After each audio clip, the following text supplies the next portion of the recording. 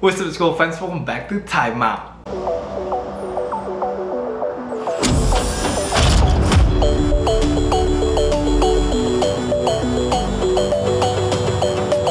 Balik dengan Ruki Padilla, kita kembali lagi ke info basket harian edisi 13 Januari 2022 Time Out Gang, wah sesuai ekspektasi ya kemarin ya. Kalau viewsnya akan turun saat lagi uh, Golden State Warriors kalah Tapi nggak apa-apa, nggak nyampe 8 ribu, nggak masalah. Yang penting kita hari ini semangat untuk bikin time outnya. Semoga hari ini sampai 10 ribu views, amin.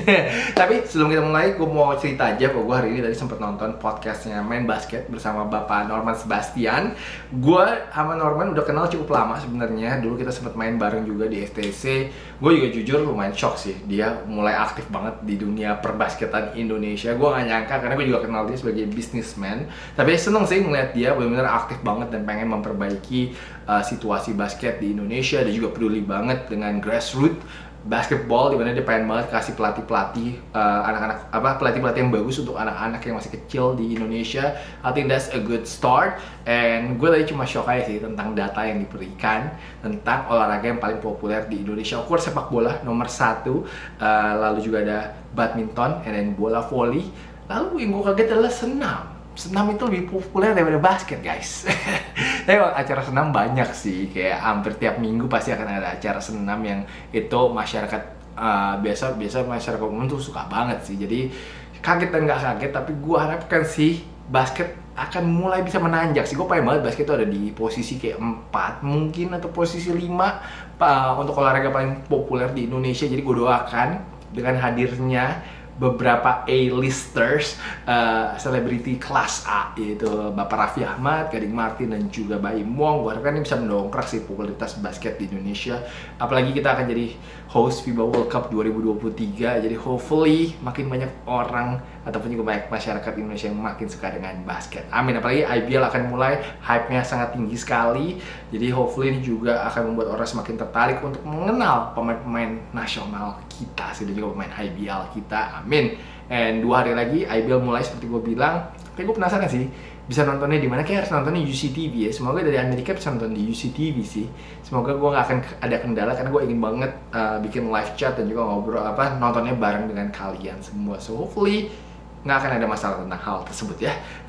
And of course seperti biasa kalau kalian suka nonton time out kalian ngefans sama uh, acara time out ini pastikan kasih kal uh, pastikan kalian kasih like dulu, kasih komen, and of course kalau kalian mau join our community, wah Time Out Gang itu seru banget. Uh, kita ada grup Discord sendiri untuk membership seperti biasa. Jangan lupa to join our membership program. Harganya murah sekali, hanya 20.000 rupiah saja per bulannya. Kecuali kalau mau join Prediction Gang, wah Prediction Gang sekarang sudah ada 60 orang. Seru sih, rame banget kalau kalian bisa. Kalau kalian mau join Prediction Gang itu harganya sekitar 50.000 per bulannya. Oke, kalau gitu kita langsung masuk aja ke comment of the day. Comment of the day datangnya dari Calvin Najoan. Gengs, kalau kalian sadar, semua tim yang jadi thumbnail time waktu itu pasti kalah. Kemarin pakai Treyang, Kyrie, Malik Monk, Clay, game selanjutnya mereka langsung kalah. Apakah Memphis akan kalah di game selanjutnya? Wah, jinxnya timeout emang kuat sekali ya. Ini diobrolin timeout aja kadang-kadang juga bisa ngejinx sih guys. Tapi uh, berarti next time uh, kalian yang suka betting, wah betnya lawannya apa lawannya yang jadi thumbnail timeout aja tuh, wah bisa cuan tuh. Tapi apa sih? Besok Memphis akan lawan Minnesota, itu akan jadi prediksi gue nanti. Jadi nanti kalian tunggu aja di segmen prediksi. Tapi semoga nanti nanti aja ya, gue kasih taunya ya. Tapi thank you so much dong untuk Calvin Joan untuk komentarnya. And gue juga mau melakukan klarifikasi. Kemarin ini gue bilang bahwa gue adalah fans barunya Jamoran. Lalu ada beberapa yang komen, wah ini sedih nih Donovan Mitchell nih kalau dengerin ini di PHP ini sama Koroki nih. Gue akan selalu support Donovan Mitchell karena dia memang orangnya baik sekali Uh, dia juga follower gue di Instagram. Uh, tapi kalau secara game, gue lebih ngefans sama gamenya John Moran jujur ya, karena lebih entertaining, lebih eksplosif, dan gue suka banget sih hatinya, uh, mentalitinya Jamoran juga itu kenapa gue pengen banget jadi fansnya dia untuk ke depannya. Tapi oh, I will always support Donovan Mitchell, Jalen Brown karena dua uh, pemain ini boleh dibilang kenal lah sama gue. Jadi um, gue akan selalu tetap lah ngefans sama Donovan Mitchell juga sama Jalen Brown cuma uh, pemain favorit gue yang terfavorit terfavorit nantinya adalah Jamoran semoga klarifikasi gue oke okay. oke okay, Waduh, lo udah tau lah ya. Hmm. Kita minum dulu sebelum seret karena ini akan panjang pembahasannya tentang Westbrook. Russell Westbrook kembali membuat banyak sekali fans Lakers kecewa hari ini. Apakah kalian salah satunya yang memaki-maki Russell Westbrook di depan TV kalian hari ini? Kalian bisa tulis juga di comment section di bawah. Westbrook tadi ngambil three point yang sangat ill-advised banget menurut gue tapi dia menjelaskan sih katanya itu tadi uh, shot clocknya mau habis jadi playnya itu katanya nggak berjalan dengan lancar jadi dia harus nembak. Sehingga tadi tembakannya nggak masuk Lakers pun sayur banget hari ini. Harus kalah dari Sacramento Kings tim yang nggak jelas ini uh, dengan skor 125 116 Westbrook memang sih lagi going through a slump. Dia juga kayak lagi ada masalah. Gue juga kayak ngerasa dia nggak udah nggak betah di Lakers. Dan gue yakin juga fans Lakers Lakers Nation pada ngebully dia semua um, kelihatan banget sih kalau dia tuh nggak happy apalagi dia juga sudah ngomongin ya beberapa kali di post game interviewnya dia. Lu bisa lihat dia tuh orangnya agak off banget beberapa interview terakhir ini. Um, kayak dia udah nggak betah. Dia tuh pengen banget jadi ball dominant point guard sedangkan bolanya di Lakers itu lebih banyak ada di LeBron dia lebih banyak nunggu di wing ataupun juga coba nge-slash um, tapi itu kayak bukan yang diinginkan sama Russell Westbrook. Dia pengen banget jadi point guardnya dia yang kontrol gamenya dan itu yang dia lebih suka gitu. Sedangkan sekarang ini dia nggak bisa melakukan hal itu. Di Lakers sehingga dia frustasi banget menurut gue. Dia frustasi banget sehingga permainannya di beberapa game terakhir ini hancur banget. Hari ini pun tembakannya itu adalah 2 dari 15, 0 dari 5 3 poinnya dan hanya 8 poin aja. Dan dia tadi beneran yang membunuh momentum menurut gue setelah LeBron dan juga Austin Reeves susah-susah untuk bawa si Lakers comeback hari ini. Dan gue tadi juga bingungnya si Malik Monk nge-set screen malahan buat si Westbrook. Dan LeBron pun juga nggak nyoba menurut gue LeBron nggak nyoba untuk minta bola dari terakhir itu. Padahal LeBron lagi juga masih cimezi metu tuh. Harusnya dia bisa banget minta bola. Atau harus pun ataupun kalau menurut gue si Monk harusnya kasih screennya ke LeBron. Biar LeBron aja yang nembak. Terakhir itu menurut gue daripada si Russell Westbrook yang nembak tadi sisa satu setengah menitan lah menurut gue dan itu langsung hancur lebur setelah itu si Lakersnya. Tapi saatnya nggak sih menurut kalian untuk Lakers look for another option? Menurut gue pemain yang lebih muda. Karena LeBron pun tadi komplain tentang kuarter ketiganya sih Sacramento Kings. Menurut LeBron, di kuarter ketiga Kings itu mainnya temponya cepet banget dia bilang dan Lakers nggak bisa keep up ya. Ini sama aja kayak kemarin waktu lawan Memphis. Lawan Memphis ya susah anak muda lawan panti jompo ya jelas akan kalah speednya dan juga mungkin endurance-nya kali ya menurut gue. Tapi uh, saatnya nggak sih menurut gue mungkin aja untuk Lakers look at si Ben Simmons Ben Simmons memang hari ini ada meeting lagi uh, si Daryl Morey, Alton Brand, Rich Paul tapi memang katanya nggak ada kemajuan dan kemungkinan malah si Ben Simmonsnya akan sit down aja the rest of the year. Tapi menurut gue sayang banget untuk uh, wasting si Joel Embiid uh, great year. Dan dia healthy banget menurut gue tahun ini si Joel Embiid. Uh, ini adalah um, apa ya opini gue aja. Opini gue menurut gue Lakers mungkin harus coba make a deal. Mungkin ini harus three team ya. Kayak nggak mungkin bisa straight up Lakers dan Philly nge-trade. Dan gue nggak tahu apakah Doc Rivers mau ngelatih Russell Westbrook atau kagak. Tapi pasti kayak serem juga sih kalau Russell Westbrook sama Joel Embiid duet gimana guys? Kayaknya ngeri ya. Gue lihat kayak Joel Embiid sama Russell Westbrook bisa cocok sih. Lalu dikasih shooter aja beberapa. Uh, I think that will be a good option. Tapi uh, I harus tiga. Karena kan juga si Philly itu pengen paketin si Tobias Harris ya sekarang ini uh, sehingga Lakers kayak nggak punya pemain yang cukup sih untuk bisa uh, nuker dua pemain ini. Uh, mungkin THT juga saatnya ya. mungkin THT untuk di trade juga tapi gue menurut gue um, Ben Simmons maybe the answer for the Lakers. Uh, walaupun memang Ben Simmons mainnya mungkin mirip sama LeBron tapi menurut gue LeBron sama uh, Ben Simmons itu lebih bisa coexist. Kenapa? Karena Ben Simmons kayak lumayan bagus untuk bagian cutting-cutting dan juga dia orangnya mungkin nggak seego nggak seego si Westbrook. Dia mungkin masih mau juga take his responsibility di defense. Jadi menurut gue uh, Lakers cari win-win solution sih untuk trade ini. Karena menurut gue Westbrook sih udah kayak nggak bisa work out man in the, uh, on the Lakers ya. Menurut gue sih seperti itu. Um, karena tadi dia bad turnovers bad defense defense juga males tadi menurut gue. Uh, bener decision makingnya nggak bagus sih. I love Russell Westbrook. Gue selalu bela ngomongin Lakers langsung batuk-batuk ya tapi gue suka banget Russell Westbrook menurut gue. Dia salah satu guard yang bagus cuma kalau situasinya memang nggak memungkinkan untuk dia bisa flourish sayang banget sih menurut gue sekarang ini. Um, ya kita lihat aja sih apakah Lakers akan memikirkan ini atau tidak karena kok gue jadi Rob Pelinka gue I will think about it sih. And mungkin aja ngobrol LeBron sih enaknya gimana nih? Karena uh, Lakers timnya deep banget. Walaupun memang mereka nggak healthy tapi mereka harusnya tetap punya sih kesempatan untuk menang apalagi lawannya kayak Sacramento Kings ini mereka harusnya bantai sih ya.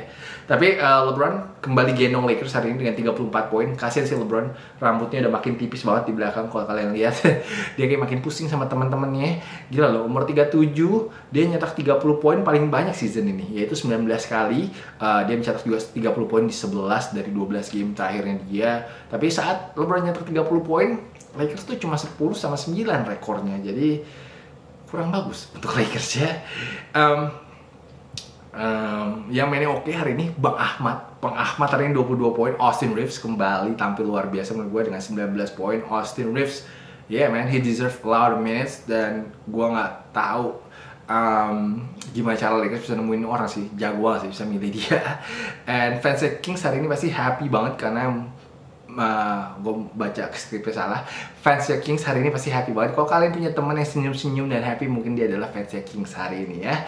And De'Aaron Fox menjadi top scorer hari ini dengan 29 poin and tadi terakhir si Metu actually nembak 3 point ya untuk ngelarin si game kali ini. Oke okay, berikutnya kita akan pindah ke Brooklyn Nets yang menghancurkan Bulls hari ini uh, untuk Battle of the Top Eastern Conference Team dengan kemenangan luar biasa. 138-112 gue gak nyangka sih si Brooklyn Nets bisa menang sebesar ini. Karena tadi kuarter ketiga gue lihat-lihat dikit skornya masih 7-1 7-1 terus tiba-tiba mereka melakukan 47 and 10 run damn KD tadi decided kayak oh, oke okay, it's time for me to rest guys. Gue capek nih kemarin udah terbang jauh-jauh. Gila mereka back to back main dari Brooklyn terbang ke Portland loh. Itu back to back jauh loh terbangnya tuh 6 jam setengah. And then sekarang dia main di Chicago lagi itu terbangnya buset dah east ke west west ke mid uh, mid west I guess. Ya yeah. kok Chicago. Tapi gile sih itu capek banget. Dan ini adalah game ketiganya mereka dalam empat hari. Besok mereka main lagi lawan OKC Thunder. Itu adalah game keempat dalam lima hari. Jadi wow tough schedule sekarang ini untuk si Brooklyn Nets. Uh, KD hari ini 27 poin. Cuma 10 shots. This is crazy man. Efficient banget. Dan juga 9 assist KD kayak lagi latihan gerakannya eh, tadi di kuarter ketiga. Aduh gerakan-gerakan baru kayak dikeluar-keluarin gitu. Kasihan si Alfonso McKinney sih ya tadi dibantai sama KD and James Harden 25 poin 16 assist. And of course Paddy Mills juga off the bench nembaknya kayak KD hari ini ya 21 poin. Uh, Kyrie hari ini main 25 menit dan juga mencetak 9 poin aja. Tapi udah gue mau haki lagi. It's not bad. This is not good. Uh, tapi harus kasih kredit kepada para pemain mudanya Brooklyn Nets menurut gue di game kali ini. Benar-benar mainnya pakai hati banget. Dan gue seneng banget karena Steve Nash make the right decision untuk kasih kesempatan kepada pemain-pemain mudanya si Brooklyn Nets Of course, Darren Sharp hari ini jago banget dia dengan 20 poin memanfaatkan kesempatannya dia menjadi starter karena sini Clarkson lagi cedera. So he took full advantage dan kayaknya KD and Kyrie and James Harden juga seneng banget sih ngeliat si Darren Sharp ini. Uh, dan gue seneng banget juga ngeliat si Big Three-nya bisa ketawa-tawa ya si uh, Big Three-nya Nets lagi di kuarter keempat mereka bisa get along. Udah lama kan mereka ketawa-tawa di bench karena tadi juga ada garbage time. Uh, tapi pas garbage time juga pemainnya Nets gue salut banget sih. Blake, DeAndre Bembry masih dive for the ball sih. Dan itu menurut gue adalah championship play sih untuk si Brooklyn Nets. Tapi let's talk about James Harden di game kali ini. Gila sih.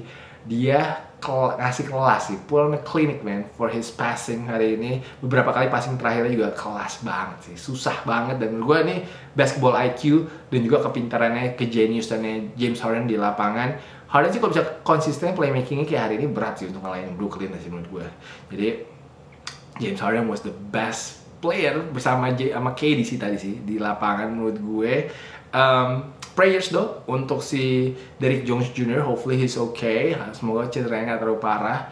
Uh, tadi Bulls sebenarnya di kuarter ketiga itu kebanyakan lebih banyak turnover kayak daripada getting buckets.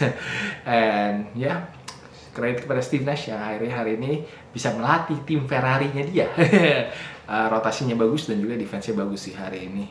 Uh, Oke, okay, berikutnya ada RJ Barrett yang mencatat 32 poin dan juga 7 rebound untuk membawa New York Knicks mengalahkan Dallas Mavericks Uh, dengan skor yang saya tidak catat skornya, saya akan coba cari skornya. Skornya adalah uh, 108-85 gue lumayan shock juga Knicks bisa menang sejauh ini atas Dallas karena kita tahu Dallas has been playing really well mereka baru ngalahin Chicago Bulls juga kemarin ini uh, tapi RJ Barrett gila sih. Uh, di beberapa game terakhir ini mulai bersinar dan menurut gue dia harus jadi number one option sih kayaknya. Di New York nih sekarang ini dia pemain termuda yang ada di starternya Knicks. Uh, tapi man he is a star though menurut gue. Uh, dia mencetak 30 poin tuh di 3 dari 5 game terakhir. 5 game terakhirnya dia. Uh, Knicks mendominasi dari awal pertandingan hari ini sampai habis Julius Randle pun uh, akhirnya main bagus ya hari ini. Setelah beberapa game sayur lalu juga ada ribut-ribut sama fansnya New York Knicks. Uh, dia hari ini uh, 17 poin 12 rebound 8 assist made the right place made the right decision. Dan ini adalah Randle yang sebenarnya kita kenal ya. Nggak kayak Randle yang cuma nyetak 2 poin di game terakhirnya kok nggak salah. And Knicks uh, akhir-akhir ini lagi lumayan bagus sih. Dan mungkin baliknya Mitchell Robinson juga membantu banget ya uh, solid big man di tengah uh, 19 poin dan juga 10 rebound untuk Mitch hari ini. And by the way, Kusma hari ini ngamuk-ngamuk sama Corey Kispert gara-gara gagal dapat triple double guys. Tadi terakhir Kusma itu ngoper boleh ke Kispert di corner, tapi sama Kispert nggak ditembak malah extra pass. Ngakak banget si Kusma bilang, come on Corey. Lord Kusma tapi lumayan mantep lah hari ini statsnya. 19 poin, 10 rebound, 9 assist. Wizards pun hari ini menang tipis ya, 112-106 atas Orlando Magic. Oke, okay adalah recap dari pertandingan hari ini. Uh, gue mau ngomongin tentang Clippers gue, gue kadang suka lupa ya kalau gue masih mencintai Clippers gue. Kemarin ini gue nggak bahas tentang mereka berhasil comeback luar biasa sih. Mereka babak pertama cuma 28 poin singkat gue, ketinggalan 25 poin juga dari Denver Nuggets mereka berhasil comeback main untuk bisa menang game mereka. Jokic Uh, kemarin ini agak kaget juga kayak pelatihnya nggak nge-call time out sih. Gue juga agak shock sih Mike Malone nggak manggil time out terakhir-terakhir. But hey hokinya kita lah menang ya I still love my Clippers though until I die. Tapi of course berita sedih sebagai fans Clippers hari ini ada kabar bahwa Paul George mungkin nggak kembali lagi tahun ini. Uh, dia cedera elbow. Uh, tampaknya Clippers ingin shutdown dia. Kalau Clippers shutdown Paul George of course kayaknya Kawhi nggak akan kembali juga. Kawhi akan shutdown juga karena ya mungkin mereka akan mencoba untuk ya just go through the season lah. Uh, dan mungkin juga mungkin mau save money I guess. Ada kabarnya mereka akan mencoba untuk memindahkan Serge Ibaka juga.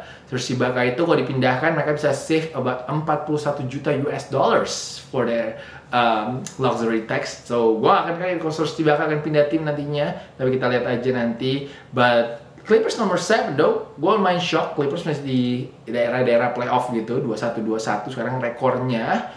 Uh, eh, gue awal season bilang prediksi gue sama dia nih bahwa Clippers nggak akan lolos ke playoff sih. But right now Tyron Lu jago juga sih ngelatih Tyron Lu uh, and of course kita nggak boleh lupa Marcus Morris is balling as well Eric Bledsoe and uh, Nicholas Batum juga main-mainnya bagus. So man gue akan shock banget sih. Jujur gue akan shock banget kalau Clippers gue masuk ke playoff sih. But we will see though. Uh, tapi gue berita sedih banget sih. Gue sedih banget sih. Paul George kalau nggak bisa main lagi tahun ini. Oke okay, berikutnya Damian Lillard juga akan melakukan surgery. Dia cederanya abdominal ya. Uh, otot perut kali abdominal ya setahu gue. Uh, Lillard tapi bilang nggak akan season ending. Dia akan comeback walaupun kita nggak tahu dia comeback kayak kapan. Aduh, itu juga Portland pusing juga tuh. Bingung juga. Mereka juga tipis-tipis untuk bisa masuk ke play-in tournament. Um, kalau menurut gue sih kayak Damian Lillard sih shutdown aja lah. Biarkan si Anthony Simons-nya berkembang. Karena Anthony Simons lagi ballin banget. Anthony Simons sih jago banget. And CJ McCollum kabarnya akan comeback uh, kayaknya this week setelah anaknya lahir. Uh, jadi kita lihat ya bagaimana duet Anthony Simons dan juga CJ McCollum nanti ya. Uh, menarik banget tapi fansnya Blazers of course worry banget sih tentang uh, Damian Lillard bisa bermain lagi atau tidak season ini Eh, terakhir Dibo ngakak banget sih. Profil fotonya di Twitter pakai fotonya si Raptor lagi duduk kemarin ini. Kita tahu dia main di uh, gangguin lagi free throw sama si maskotnya Raptors ini dan dia marah tapi sekarang katanya udah baikan. So, that was really cool though to see dia memakai fotonya si Raptor ini untuk jadi profile picture-nya dia. Nah, dia is really cool guy. Oke, okay, berikutnya prediksi. Hari ini kita cair lagi di prediksinya timeout di mana Main hit plus 4, oh mudah sekali menangnya atas Atlanta Hawks walaupun ketinggalan dulu tadi awal-awal. Dan tentunya ada Tyler Hero yang gila banget hari ini mainnya. Uh, besok ada beberapa game yang seru. Lumayan susah sih besok nebaknya, tapi gue seperti gue bilang, gue pengen melawan jinxnya time out Jadi gue akan memilih Memphis minus empat setengah besok ini melawan Minnesota Timberwolves. Memphis lagi on a mission, they playing good also at home. Jadi confident level juga lagi tinggi banget. Jadi besok semoga nggak kendor ya. Semoga aja besok Memphis masih bisa menang at least 5 poin atau 6 poin lah ya. Good luck everyone. Dan kita masuk ke top styles. Trey Young dengan colorway terbaru ini untuk sepatunya. This is pretty unique menurut gue warnanya. Gue suka warna birunya. Uh, Gak tau kenapa tapi gue ngerasa ini cocok banget sih untuk represent Ice Trey. Dan berikutnya ada DeMar DeRozan nih yang kembali dengan koleksi Kobe 6-nya. Ini tough banget sih warnanya sih. Dan gue suka banget kombinasi dua warna ini. Menurut gue ini jarang banget sih gue lihat uh, kombinasi dua warna ini. Dan terakhir gayanya tim Hardaway Junior gue suka banget nih hari ini. His outfit keren banget di New York Uh, ini lagi puffer jacket season, so ini pakai puffer jacket warna coklat. Kayaknya cocok banget dengan warna New York sih. Dan of course nggak boleh lupa dengan LV Toiletries backnya dia. It is fire man his outfit. Oke, okay, berikutnya di top place ini wajib masuk top place sih hasilnya Bambry and Blake di quarter keempat walaupun dia menang jauh, tapi ini dia masih jatuh-jatuhan dan Kessler Edwards dapat the dunk. And ini passingnya between the leg Harden ke Darren Sharp ya ini harusnya ini juga nggak ada obat sih passingnya si James Harden. Dan Miles Bridges wah bilang nggak bisa ngeblok gue dua kali nih. That was an angry dunk though from Miles Bridges. Hari ini gue nggak terlalu nemu banyak sih top place but this is the one that I found. And terakhir player of the day jujur bingung gue mau kasih ke siapa tapi kayaknya Harden sih pantas ya kayaknya ya. 25 poin 16 assist dan 7 rebound. Gue cuma seneng aja sih ngeliat passing-passingnya James Harden hari ini. Uh, dan dia pun juga membantu timnya mengalahkan tim number one di Eastern Conference. Jadi benar-benar push passing clinic hari ini. And that is why he is our player of the day. Time out gang, thank you so much yang sudah mau mendengarkan gue hari ini ngomongin basket dan NBA bersama kalian semua Uh, besok jujur gue belum tahu akan ada timeout atau tidak tapi kalau ada nanti akan dikabarin. Uh, thank you so much dok. Semuanya sudah support timeout setiap harinya. Jangan lupa untuk like jangan lupa untuk comment and I will see you guys again uh, tomorrow maybe. Oh no. Nah, jadi salah.